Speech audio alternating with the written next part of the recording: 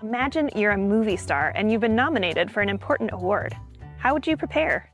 You may spend months working with a stylist to put together the perfect outfit. You may have your hair cut or borrow jewelry, and you'd probably work on an acceptance speech. If all goes well, you'll have 30 seconds on stage to wow the audience and thank all the right people before the exit music starts playing. That's a whole lot of preparation for such a short amount of time in the spotlight, right? But just like performers and athletes have to make every moment count, so do spring wildflowers. They are made to achieve a lot in their fleeting appearance, which can be as short as a few weeks between January and June.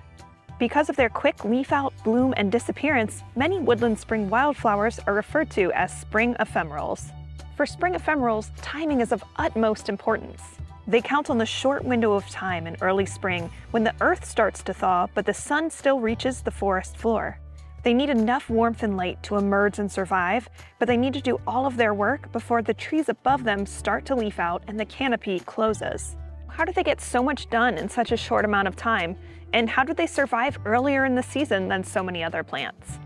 First of all, they work hard to save energy and they do their prep work underground. Have you ever opened up a package, maybe for something like an inflatable mattress, that's packed so tightly in there, you know when you take it out, you'll never get it back in the box? Kind of like that. Think about a plant already preformed, packed super tightly in a bulb underground. Once it gets the signal that the timing is right, it pops up above ground. Its cells fill with water, it rapidly expands into leaves and stems, and eventually buds and flowers. In the few weeks they are above ground, the leaves absorb energy from the sun and send that energy down into the underground parts of the plant to be stored. The plants then use that stored energy to prep for next year and repeat the cycle. Since blooming is a very energy expensive task, some plants will store energy repeatedly for years before they produce a flower. Spring ephemerals also have adaptations that help them survive in colder temperatures before the trees leaf out. Some have fuzzy leaves or stems that help keep the frost off, and most grow close to the ground where it's warmer and where pollinators hang out. And as a form of insurance in case the pollinators don't show up, many species can clone themselves. Some will also use ants to help spread their seeds short distances across the forest floor, allowing them to slowly colonize.